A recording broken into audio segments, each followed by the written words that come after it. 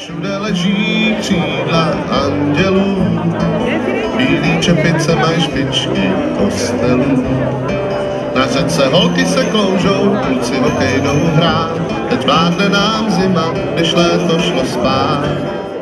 Máme za sebou první víkend plný předvánoční atmosféry, která neminula ani hrušky u Břeclavy. Vánoční veselení je tradiční akce, která tu v adventním období nesmí chybět. Na prostranství před místní základní školou vyrostl jarmark, na pódiu zazněly vánoční písně a kromě domácích umělců zde letos vystoupil také Jiří Zoniga. O organizaci se jako každý rok postaral spolek Drtichy ve spolupráci s obcí.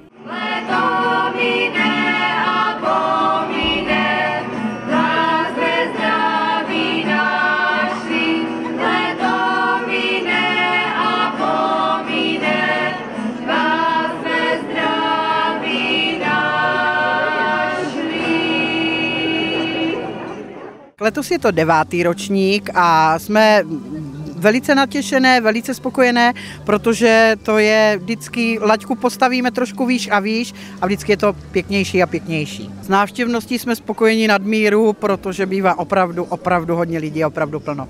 Až jsme se divili, ale je tu kolikrát víc přespolník jak místních. O tom, že pořadatelé opravdu akci rok od roku vylepšují, svědčil jak vysoký zájem ze strany návštěvníků, tak pestrý hudební program, který měl letos speciální vyvrcholení. Letos máme opravdu hlavní hvězdu, letos je hlavní hvězda Jiří Zoniga.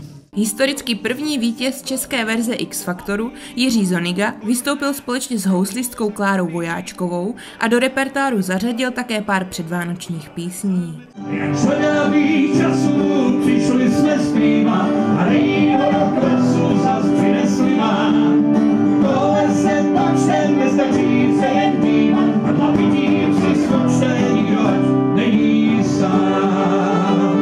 jelikož už vlastně druhý nebo třetí rok eh, spolupracujeme se stacionářem Vlaštovka z Hodonína, tak letos dokonce dojeli i děti ze stacionáře, udělali program a mají tady i stánek, takže je to dá se říct pro dobrou věc. A samozřejmě jako každý rok mužáci místní, hrušecká děvčata, školka, škola. Tady je spousta stánků, kdo všechno se zapojuje.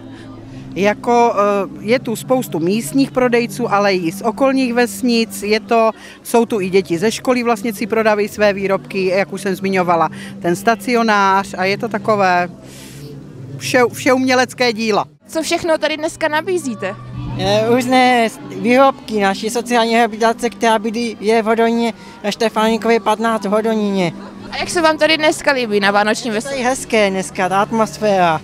A jste tady poprvé? Poprvé tady, ano.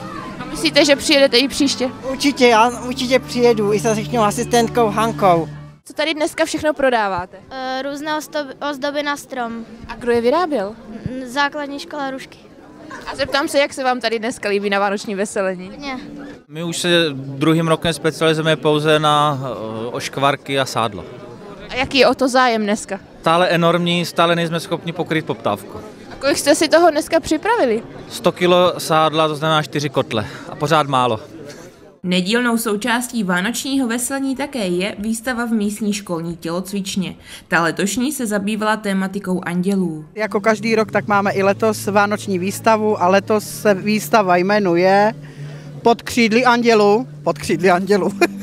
Kdo všechno tam vystavuje? Co tam můžeme vidět? Eh, můžete tam vidět různé andílky a je to vlastně pozbírané od místních lidí, co tady kdo má andílky, tak přinesl na výstavu a přines, přišel se pochlubit.